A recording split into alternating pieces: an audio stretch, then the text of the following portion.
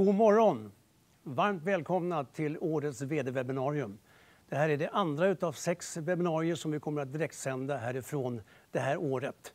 Årets VD har 10-årsjubileum och det tycker vi är fantastiskt roligt. Och vi ser fram emot att få utse årets VD 2021 vid en stor gala den 11 november i Stockholm. Det hoppas vi i alla fall på. Ingenting är ju riktigt säkert ändå dessa dagar, men vi ser fram emot det. Det är roligt att ni är så många som är med oss den här morgonen och jag vill tacka dig speciellt för att du delar din tid med oss. Temat för webbinariet är digitalisering och människorna. Det är ju onekligen stora förändringar som pågår just nu. Eh, digitaliseringen är ju någonting som påverkar samhällsutvecklingen i grunden och pandemin har påskyndat den utvecklingen med flera år. Stora utmaningar ligger framför oss, men det är också fantastiska möjligheter i detta. Så vad är det för beteenden som kommer att bestå efter pandemin? Vad kommer syftet att vara med kontoren när vi nu kan jobba var som helst ifrån? Och vad krävs av ledarskapet, medarbetarna och vilken företagskultur behövs för att skapa en arbetsplats med innovation, hälsa och hållbarhet? Det ska vi bland annat samtala med med våra gäster här idag. Och det är Anneli Gullström som är chef för nya affärer och innovation på AMF Fastigheter och som under många år har jobbat med framtidens konsumtion och arbete. Vi har också Dan Bjurman som är Sverigechef på Salesforce. Salesforce är ett av världens ledande företag som erbjuder digitala lösningar i molnet med fokus på att koppla samman företag och deras kunder och är tillika partner till årets VD. Mitt namn är Per Winblad och jag är chefredaktör för Motivation.se och vi är också instiftare utav utmärkelsen Årets VD. Syftet med priset är att uppmärksamma förebilder bland Sveriges VD:ar och genom det goda exemplets makt påverka utvecklingen mot ett mer värderingsdrivet ledarskap och ett långsiktigt hållbart näringsliv. Idag har vi tänkt att hålla på fram till klockan 8:45 med den här direktsändningen och än en gång varmt välkommen. Får jag börja med också att be dig ta fram eller ladda ner om du inte har gjort det redan, årets VD-app. För i den kommer du kunna vara med lite grann delaktig i detta. Vi kommer ta det här, se det som åtminstone en dialogform där du kan ge input till det vi också kommer att prata om. I appen kommer du också kunna hitta sen, ja, intervjuer med gäster, juryn, årets VD-vinnare och få en del erbjudanden från våra partners. Så passa på och gör det nu här också. Eh, jag tänker kanske att vi också dyker in då på första appfrågan så här direkt för att värma upp lite grann så ni är med där från start. Och då tänkte vi att vi är nyfikna på vilka av följande pandemiboxar som du kan ticka i. Byggt en hemmamiljö för digitala möten. Haft ett digitalt möte i bara underkläderna. Ja, jag har faktiskt sett exempel på värre än så. Spenderat mer tid på egenvård. Kanske spenderat mer tid tillsammans med familjen. Handlat mer hållbart på nätet än vad du gjort tidigare. Skaffat hund och har fler sociala kontakter via FaceTime, Teams och liknande. Så ta och ehm, fyll i vad du ser att du har gjort under den här tiden. Så kan du också ta att aktivera webbinariet när du går in på appen och under fliken dialog så kan du också trycka på en liten pil och kommer direkt till frågorna och där kan du ge dina svar. Så nu kör vi tycker jag.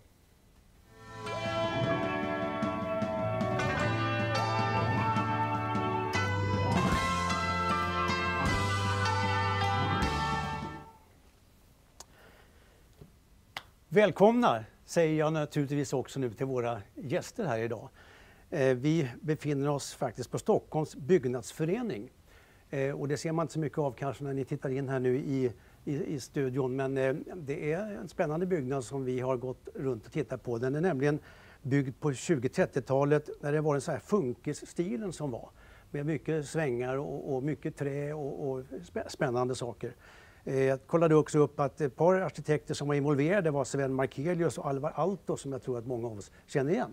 En del möbler och sånt annat som man kan förknippa det med. Nåväl, det är platsen. Men eh, nu tänkte jag att för de som inte känner er sedan tidigare så kunde vi få höra lite grann. Vem är exempelvis Anneli? Ska du börja? Eh, Anneli Gullström heter jag. Eh, arbetar som sagt var som chef för nya affärer och innovation på AMF Fastigheter sedan eh, drygt fem år tillbaka. Eh, annars kan jag beskriva mig som en ganska nyfiken person på framtiden. Tycker det är intressant att eh, se hur vi människor eh, eh, förändrar våra beteenden när vi tar till oss ny teknik eh, och nya teknologier och, och se hur det påverkar företag. Så jag tillhör väl den lilla skaran som tycker att det är väldigt spännande med förändringar. Härligt. Dan, vem är du? Ja, vem är jag Per? Eh, tack. Eh, Dan Bjurman heter jag. Eh, först och främst kan jag säga att jag är ju pappa. Men jag leder också Salesforce eh, i Sverige. Eh, och precis som du nämnde i din inledning så hjälper Salesforce att möta, eh, hjälper våra kunder att möta sina kunder på, på nya sätt. Och inte minst i, i det här tidevarvet vi, vi verkar i nu allihopa. Exakt, vad härligt. Eh, då är vi väl också lite nyfikna på vad de här första svaren har kommit in med vår första appfråga. Så jag tänkte att vi skulle få in dem efterhand och då ser vi dem på tv-skärmen där, ja helt enkelt. Byggt en hemmiljö för digitala möten, 17 procent lite drygt där. Digitala möten i underkläderna, det är väl att det inte är så många ändå, men det är några stycken ändå som eh, har gjort det. Eh, spenderat mer tid på egenvård. Härligt. Eh, mer tid tillsammans med familjen det, eh, tycker jag är roligt, sticker ut. Vad säger ni förresten när ni ser de här siffrorna?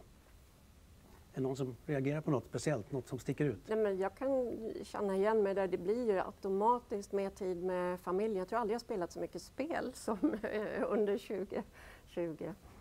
Jag håller med. Och, eh, det, det, är ju, det är ju fantastiskt. Jag menar, många av oss har kämpat i den här pandemin och vi pratar ofta om, om baksidorna. Mm. Men också 25 procent av eh, alla lyssnare och tittare, inklusive jag själv, mm. har möjlighet att äta frukost med, med sin familj och äta middag med, med sin familj. Så såg inte mitt liv ut för, för ett år sedan. Nej, så väldigt många positiva saker som har följt med också.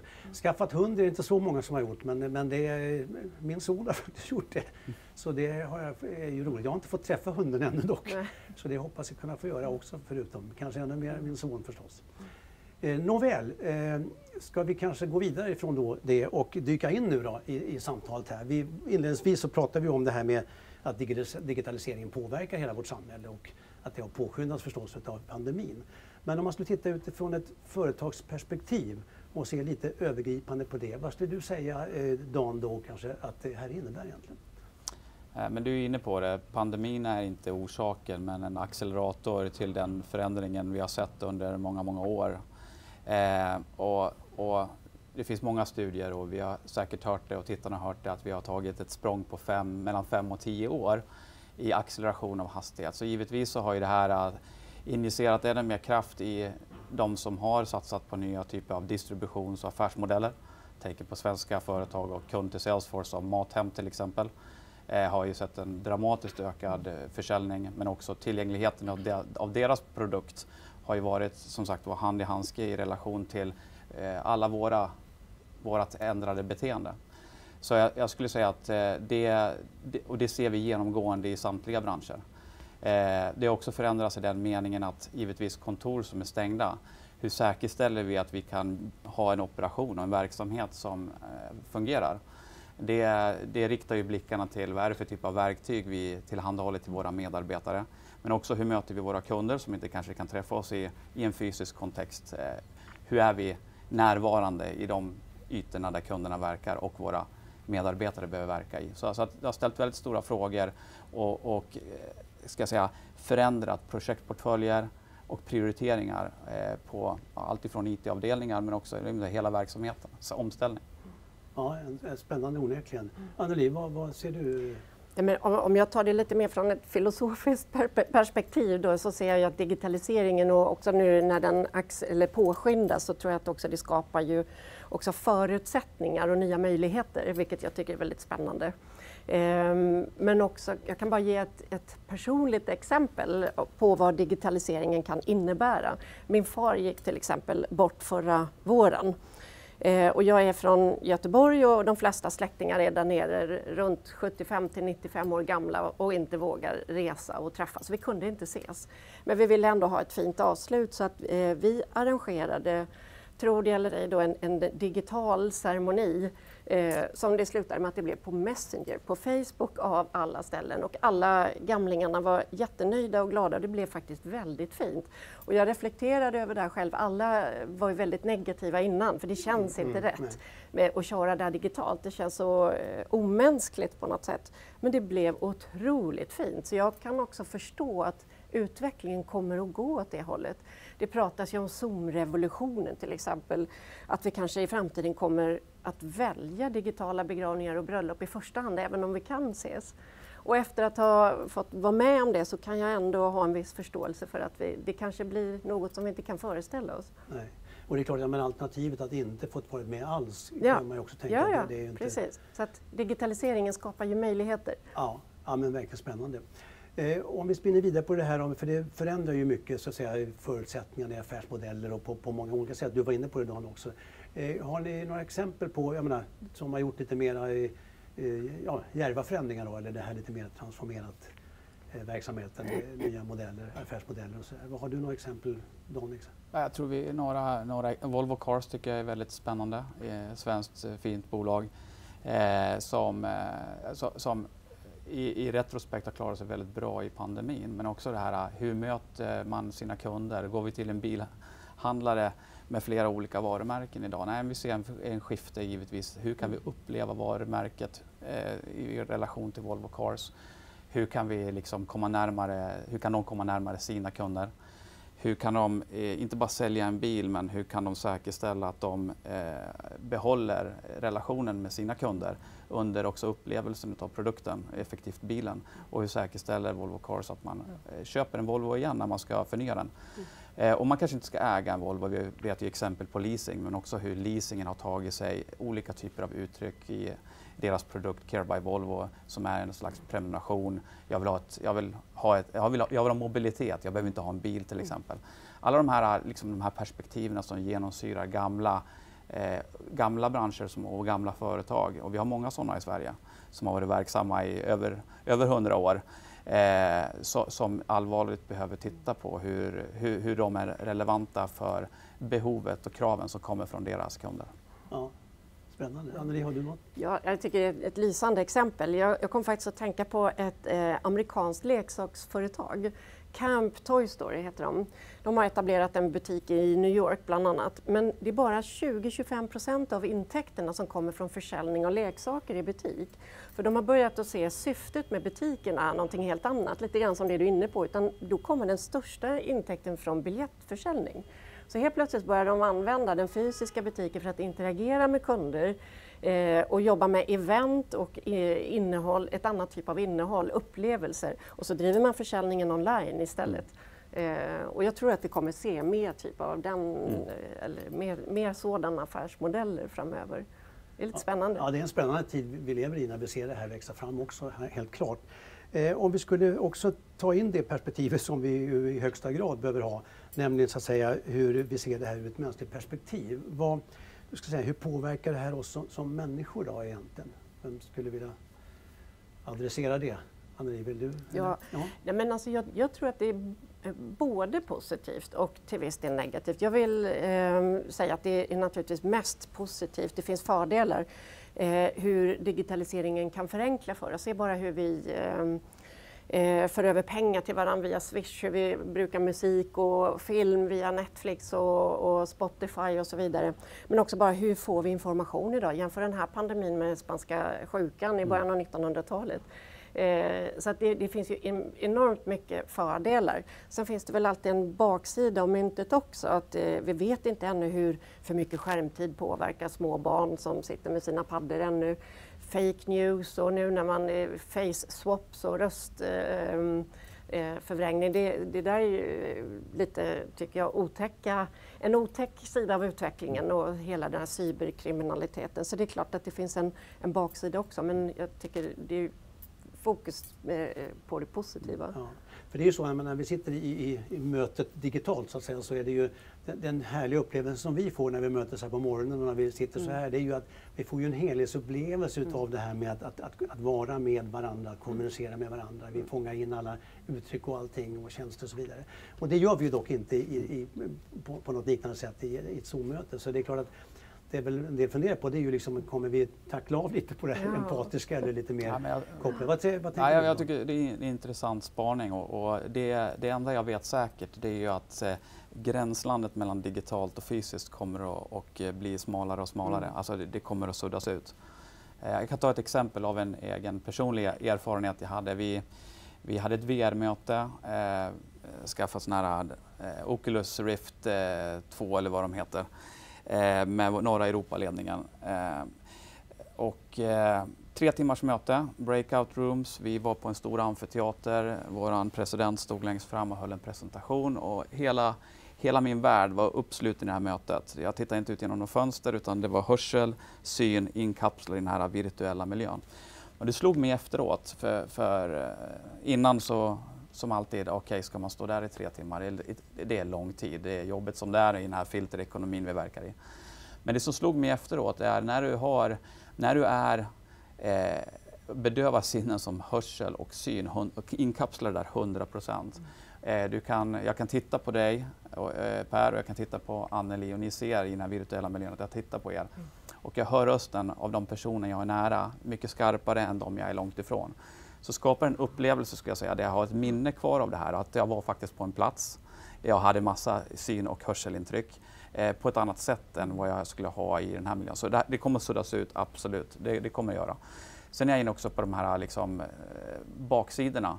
Jag tror eh, eh vi har ett väldigt stort ansvar eh, som politiker, eh, samhället i stort, i att hitta regelverk, hur vi reglerar den här typen av extremt kraftfulla verktyg som artificiell intelligens, mm.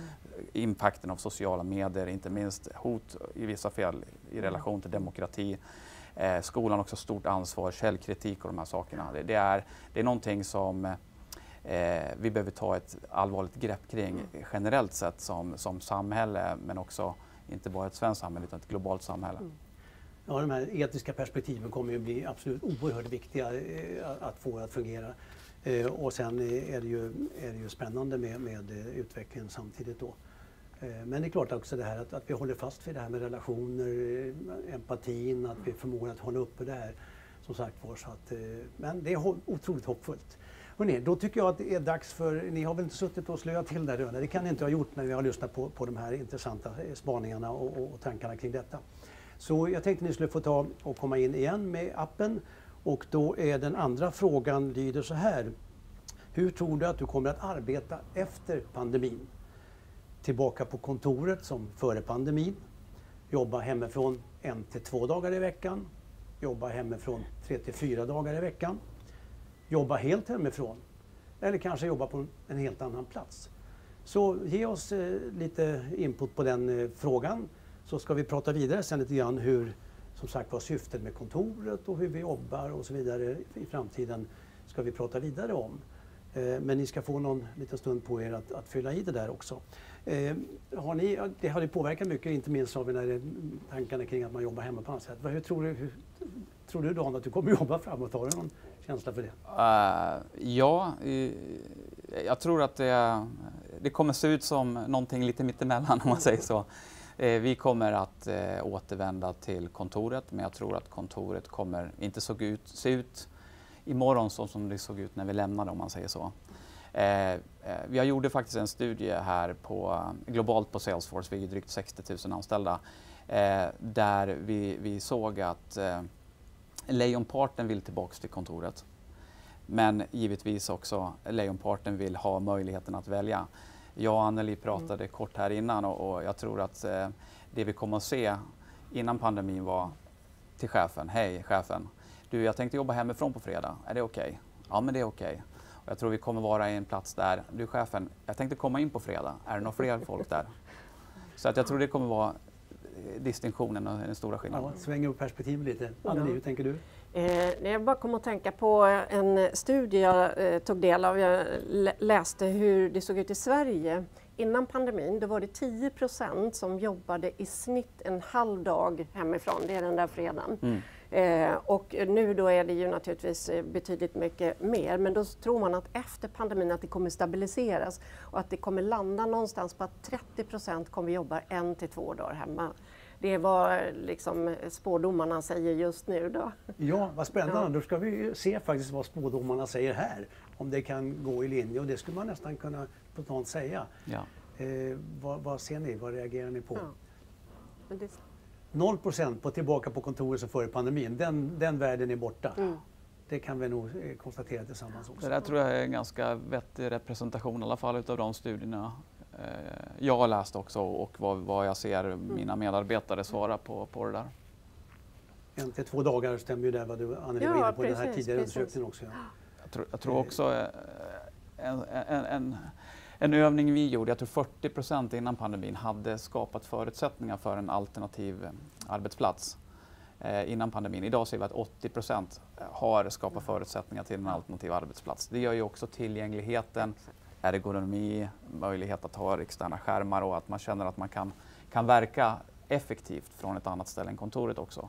Influerar ju den här typen av siffror på ett sätt Ja precis, jag läste också, den, nu tittar jag på arbeta på annan plats, var eh, ganska lågt där sen, men eh, jag tänkte hur frågeställningen speglar kanske inte det jag kom in på att tänka på det här med att i och med att vi kommer resa mindre men kanske vara borta längre. Mm. Så tänker jag att man, man kombinerar en semester men man ser till också att jobba under en, en, tid tillsammans. Och det är väl en spännande möjlighet faktiskt. Det finns en benämning för det nu, man kallar det workation. Workation ja, mm. men det är ju underbart att mm. få ta det. Mm. Det är ju lite grann så som är, som är det vi har sett som är, som är skönt att kunna kombinera faktiskt i sammanhanget. Hörrni, då dyker vi väl närmare in på detta Alltså just det här syftet och påverkan som det innebär nu med att vi alla har tillgång till dator och kan jobba precis var vi vill. Då.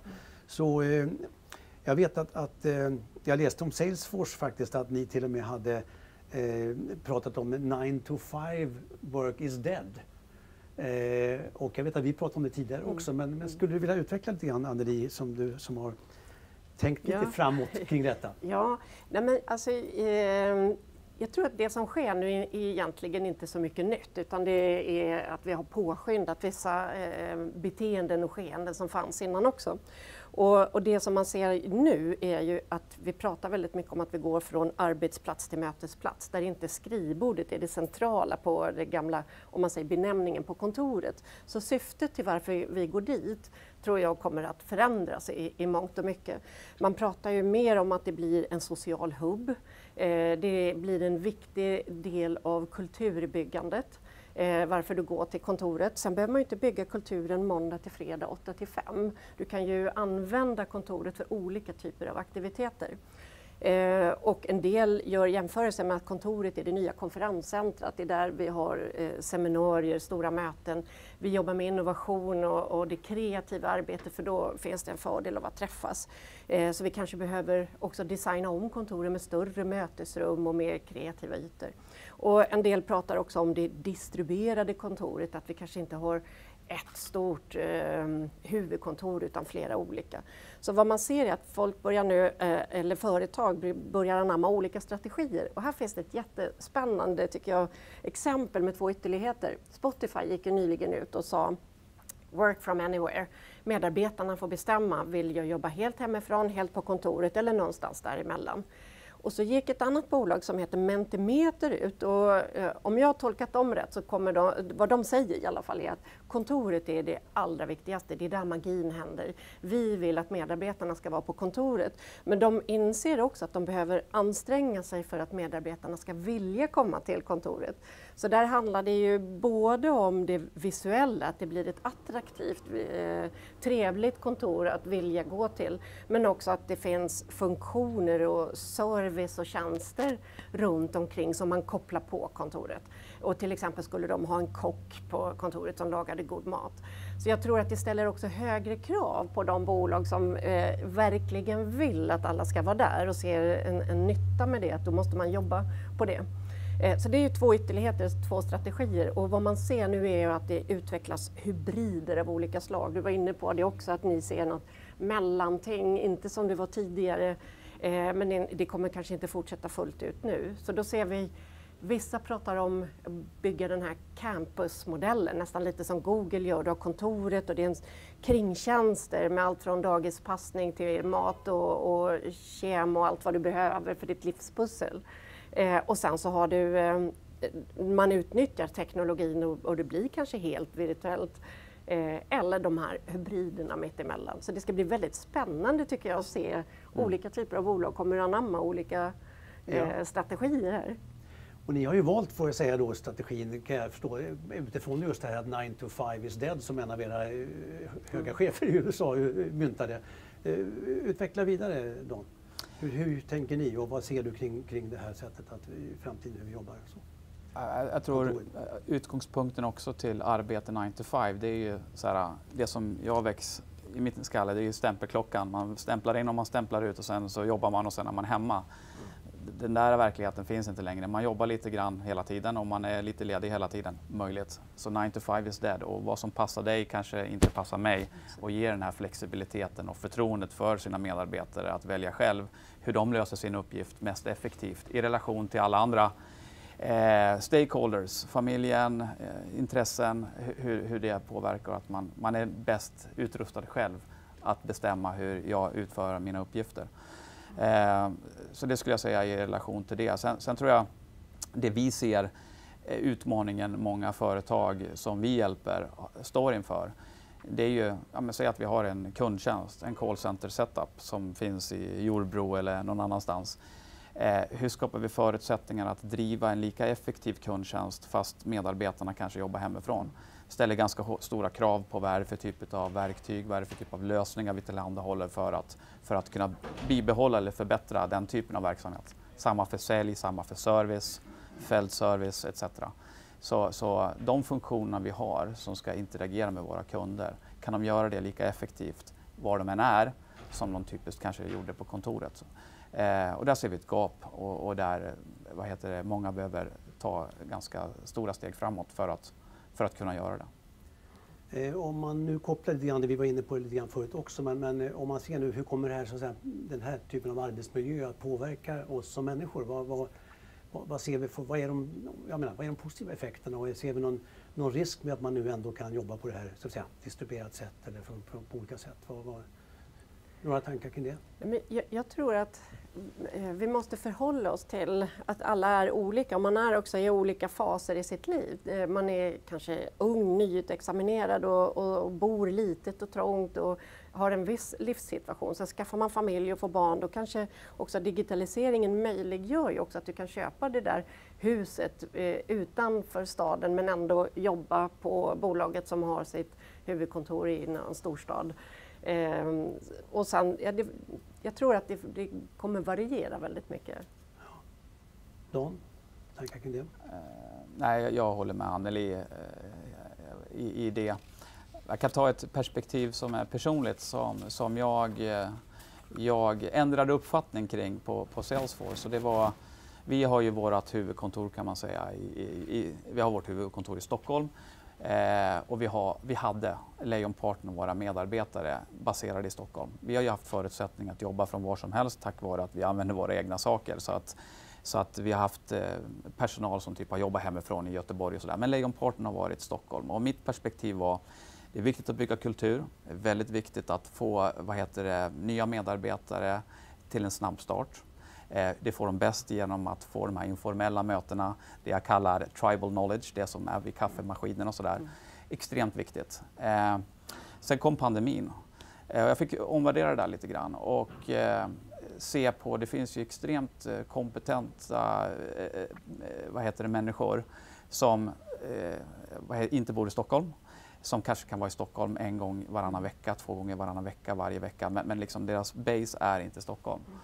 Eh, och där har vi anställt en hel del personer som inte har sin base i Stockholm. Mm. För att det är ingen skillnad för dem än någon annan under hela det här mm. året. Mm. Och det som är spännande där tycker jag, det är att uh, öppnar upp en helt ny talent pool för oss. Ja. Eh, vi har förutsättningar att, och en slags här revival av landsbygden. Alltså, Mm. alltså, ska jag bo, bo på en hästgård i Leksand där jag kommer ifrån och mina barn kan ha hästar att rida för i, i en spottstyver till relation vad det skulle kosta i Stockholm. Och fortfarande så kan föräldrarna jobba i Stockholm, ta tåget in och jobba en dag, två dagar i veckan eller vad det nu kan vara. Så jag tycker att det är väldigt spännande också vilken möjlighet i relation till talent acquisition som vi har fått som företag. I att kunna leta i lite vatten vi kanske inte letade i förut. Ja, det öppnar ju upp för möjligheter, det, det, det, det hör vi verkligen. Ska man tänka sig ändå att det är gränslöst arbete samtidigt, alltså menar, arbete och fritid, att det går ihop på så många sätt. Finns det några, några risker med det som ni kan se? Jag menar, idag är det ju ändå så en, en hel del mm, problem med just, så att säga, det kanske kopplat till pandemin också i hög grad, hur, hur vi mår och sådär. Men vad, vad säger du om det? Ja, nej, men det ställer ju högre krav skulle jag vilja säga, både på ledarskapet, men jag tror också att det handlar om ett litet eh, självledarskap. Men man måste ju som medarbetare ta ett litet eget ansvar också. Eh, och jag tror här, återigen, alla är ju olika. Själv är jag väldigt morgonpigg så jag är ju igång kanske vid halv sju, sju och börjar läsa mejlen. Och har du datorn på köksbordet så det är jättesvårt ibland att, att se vad skillnaden är och då blir det ju inte att oj nu är klockan fem, jag är ju, fort, jag är ju hemma redan. Eh, och då blir det ju lätt att du kanske sitter klockan sju till sju och man står över diskbänken och äter en, en knäckemacka till lunch. Men då får man ju ta ett eget ansvar någonstans och samtidigt så får ju kanske då, det blir en utmaning kanske för chefer att se så att de, vissa kanske inte då går in i väggen Ja. men samtidigt också att inte vissa kanske då gömmer sig. Eh, och då blir ju utmaningen, var går gränsen eller var ligger balansen mellan kontroll och övervakning? Eh, för jag vet många chefer jag har pratat med känner sig oroliga. Jobbar de där hemma eller kör de tvätten hela tiden? Och, och vad, vad det nu finns för farhågor att man inte levererar. Men jag tror att det är livsfarligt att hänga över axeln och det blir någon slags övervakning. Samtidigt så har man ju ett resultat man är ansvarig för. Ja. Ja. så det, är, det är nya typer av frågor jag tror vi måste vänja oss vid. Ja. Tankar kring det? Jag, jag, jag skulle slå ner på liksom ledarskapet blir annorlunda. Eh, men också vilket ansvar vi har som ledare att säkerställa att vi har en, en hälsosam personal.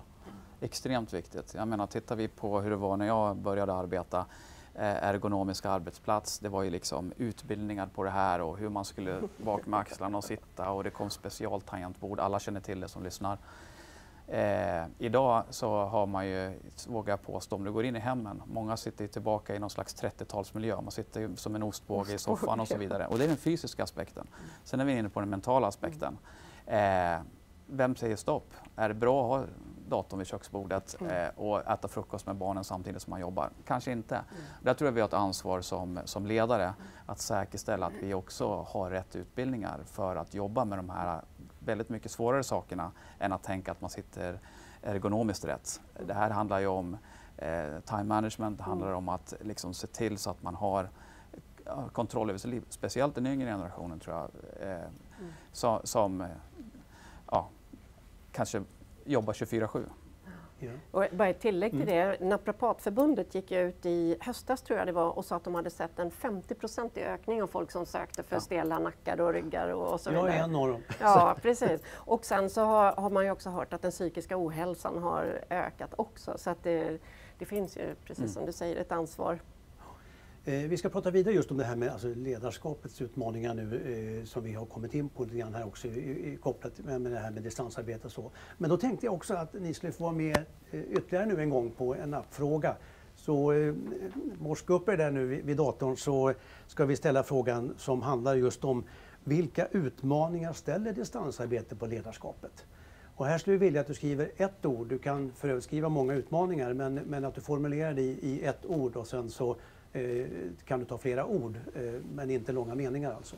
Och det är för att vi ska få en, en, en begriplighet i, i, i svaren helt enkelt. Så ett eller flera utmaningar men beskrivet med ett ord. Eh, vilka utmaningar ställs ledarskapet inför? Alltså vilka utmaningar ställer distansarbete på ledarskapet för att vara tydlig? Vi väntar in svar och vi har redan glidit in på den här frågan egentligen. Eh, så att eh, det ska bli lite spännande att se vilka utmaningar som eh, vi identifierar där ute och vi har berört några. Och sen kommer vi att ja, prata vidare om det egentligen nu och, och, den här sista delen av den här morgonen. Så någon ytterligare sådär lite medan vi, vi väntar, har ni någon, utan att vi dyker ner i djupet direkt, men har ni någon, någon vi lyfter upp någon grej bara. Vad, vad ser ni mer för, för aspekter på det? Vi pratar ju lite grann om det här med, med att, att, ledaren blir ändå eh, viktig också med ansvaret att se hur, hur människor mår där ute exempelvis ja. som en sån koppling. Ja, men det mänskliga ledarskapet och den här mänskliga kontakten är ju det som saknas och vad betyder, vad betyder det? Eh, och det kan man ju ha en lång diskussion och filosofisk resonemang kring vad, vad det här mänskliga mötet betyder. Och där någonstans hittar man också svaren på eh, och nycklarna på vad är det vi behöver adressera och, och hitta vägar kring för att brygga det där. Och, ja. eh, och det blir också säkert eh, ja, alltså viktigt att lyfta de här frågorna generellt. Nu ska vi se då, har ni eh, lyckats eh, svara så vi kan ha lite utgångsläget här när vi också pratar vidare? Mm. nu ska vi se vad som har vuxit fram. Spännande reflektioner på detta? Ja, tillit, det var det jag var inne på. Jag tror det är mycket, det handlar om att ha en tillit till medarbetarna. Men också att man, då har, man måste ju jobba med kommunikationen och också så att det är väldigt tydligt vad alla ska åstadkomma. Och, och Dan, något som sticker ut också? Du? Tittar man på alla orden så handlar det om, handlar det om eh, ja, i botten trust eller tillit och eh, hur, dels tillit men jag tror också tillbaks till hur, hur, hur säkerställa att vi driver resultat. Tydligheten blir extremt viktig. Mm. Att eh, vara eh, eh, tydlighet i förväntan, mm. tydlighet i vad, vad, vad, vad, förväntan är. Och där tror jag också vi behöver eh, kika på vad är det för typ av metrics vi jobbar med och, och hur förstår alla kontexten till de här liksom, nyckeltalen vi, vi, vi vi arbetar efter i din specifika roll etc. Eh, och där blir det också en, en, en, en Tilliten är en sak i relation, vilken, vilket förtroende och vilket, vilken trust och tillit har jag till er som individer. Men också när vi kommer till resultat så blir det också hur tillförlitlig är vår data? Mm. Hur säkerställer vi att vi har koll på vad våra medarbetare gör där hemma? Tillbaks till kör om tvättstugan hela tiden. Mm. Och det kan man inte gissa det måste man veta mm. och det vet man genom data. Och då handlar det om att säkerställa, precis som man hade en stämpelklocka eh, i början av den industriella revolutionen så behöver man ha eh, också möjlighet att ha metrics, inte bara när folk stämplar in och stämplar ut, utan vad är det för output, vad är det för mm. resultat eh, de här individerna lämnar efter sig, dag för dag, vecka för mm. vecka. Också tydlighet i att kunna kommunicera om det här på ett väldigt transparent och, och bra sätt mm. med en riktning och en målbild som vi är överens om.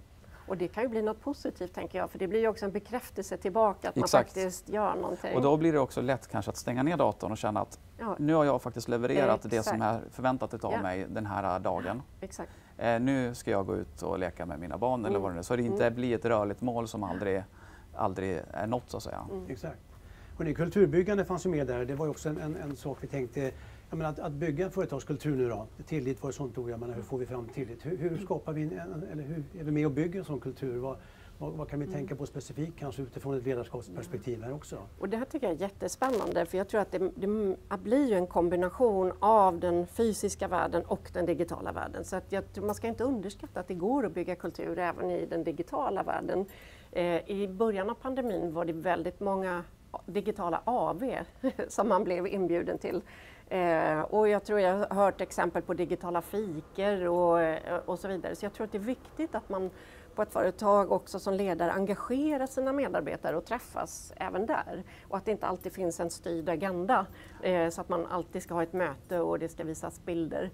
Ehm, jag vet på AMF Fastigheter har vi också bjudit in medarbetare till träning. Det har varit lite tävlingar där man har kommunicerat via de här digitala kanalerna. Det är också ett sätt att få medarbetare att träffas och känna att vi är ett team. Mm. För annars är det så lätt att känna att jag är själv och så har jag ett möte med olika personer. Mm. Ehm, så att det går ju att skapa teamkänsla i de digitala kanalerna. Sen tror jag vi ska inte underskatta att kontoret kommer att ha en jätteviktig roll i kulturbyggandet. Både eh, för att eh, ha, samla och ha olika aktiviteter men också för att attrahera medarbetare. Det tror jag kontoret är en viktig mm. kulturbärare. Mm. Men också för att attrahera nya kunder. Så att vi kommer använda kontoret på ett annat sätt för kulturbyggande. Eh, spännande. Någonting? Ja, jag tror också kulturen, det, det här, kulturen och jag skulle säga värdegrund hos företagen blir viktigare än någonsin. För jag tror också flyktigheten mellan medarbetare att byta arbetsgivare kommer att bli mer påtaglig. Mm. För jag tror många uppskattade just kontoren så som de var förut. Du tog Google-exemplet med campusen ja. där liksom allting är tillrättalagt. Men jag skulle säga värdegrunden i hur leder vi våra organisationer och hur manifesterar vi i en praktisk mening det vi faktiskt gör i det som är viktigt för oss som organisation. Eh, jag menar på Salesforce eh, så har vi någonting vi kallar 111-modellen. 1% av vår equity, 1% av vår produkt och 1% av alla medarbetares tid går tillbaka till någon slags, eh, ge tillbaka till communityn. Eh, charities i USA men vi jobbar mycket med Skärgårdsstiftelsen i Sverige, vi jobbar med eh, Maskrosbarn, eh, Min stora dag med flera eh, eh non-profit-organisationer. Eh, och det här är också en, en, möjlighet att samlas i den här äh, vad heter det, världen vi lever i. Att äh, samlas kring det som är äh, bolagets värdegrund. Eh, och där kan man också komma tillsammans. Jag har några exempel på året som har varit. Vi kan träffas utomhus. Vi kan plantera träd eh, på Ekerö där vi var ute och planterade ekar. Vi kan bjuda in våra partners att göra det här för vi kan vara socialt distanserade. Eh, att ändå träffas då utomhus och göra någonting meningsfullt som är eh, kopplat till den värdegrunden vi står för och att ge tillbaka. I en, och på, på Net Benefit som lag har vi ju den här teambuilding-historien. Så att jag tror, eh, där, där, kommer vi också se mer saker än, än kanske bara AVS och sådana saker, utan vi mm. kommer se mer, mer, eh, mer saker som träffar i mm. hjärtat också. Mm. Och tiden går alltid fort när man har något spännande att, att prata runt eh, och vi ska strax gå mot en avslutning. Men jag tänker att om ni skulle tänka till på vad är, det, vad är ett, ska säga, ett, ett råd, ett viktigt råd eller ett råd du tror på när det gäller att nu för en, ett företag, för ledningen att ta ett grepp om det här. Vad, vad, är det de, vad skulle de behöva göra och också något råd för vad behöver jag som en enskild ledare? Så liksom, vad är något, har ni något råd, något tips på, på hur man hanterar just den här situationen för att gå i den riktning som vi vill? Någon, någon ja, jag kan köra. Eh, nej men som enskild, jag, jag tror eh, att, att, eh, att eh, ringa en gång mer än en gång för lite är viktigt. På kontoret så hade vi ynnesten att se, eh, i alla fall använda våra andra sinnen för att känna hur folk mådde mm. och, och, se om folk inte dök upp eller och så vidare, eller om de var sena eller gick tidigt etc. Här handlar det också om visa din, ditt förtroende och din tillit till, till, till individerna men också extremt viktigt med tydligheten. Mm. Vi, vi, har, vi, måste använda liksom lite kanske färre ord och flera liksom instrument för att visa riktning. Så reiterera riktning, ha tilliten och backa det med data så att vi har en gemensam benchmark till vad det är vi pratar om. Det, det tror jag är otroligt viktigt när man inte ses så ofta. Mm. Anneli? Ja, jag kan bara hålla med och det är ju också mycket utifrån det mänskliga perspektivet att få medarbetare att må bra och leverera. Jag tänker också koppla till det här med digitaliseringen och de förändringarna som sker så läste jag en artikel för det är nog drygt ett år sedan nu men att vi går från, ett tag så pratade alla om EQ, EQ var det viktigaste i, i organisationer, men att det är AQ nu, det handlar om adaptability och det var drygt ett år sedan jag läste det, det tror jag är viktigare än någonsin, förmågan att kunna anpassa sig och vara lite nyfiken på mm. omvärlden. Mm. Det tror jag är väldigt eh, viktigt och centralt nu. Ja. Ett begrepp som också används lite mer och mer idag det är ju det här med autenticitet, det vill mm. säga att, att som ledare både mot våra medarbetare men återigen den här mänskliga aspekten. Mm. Att faktiskt, det handlar om människor. Mm. Det är människor som är i centrum av alltihopa. Exakt. Ska vi få mm. organisationer att växa och utvecklas så är det ju faktiskt, och jag till någon som har sagt att ledarskap sitter i blicken.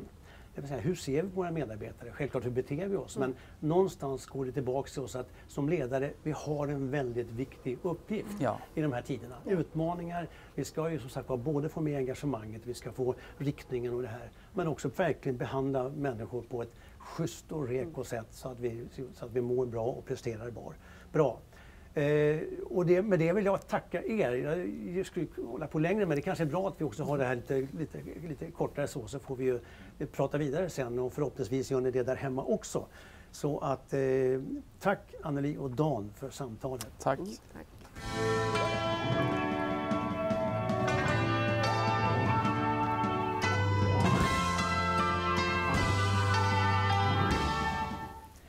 Ja, vad härligt att ni har varit med här den här morgonen. Vi har ju ytterligare fyra webbinarier eh, som vi har bokat framåt och den 23 april kommer närmast.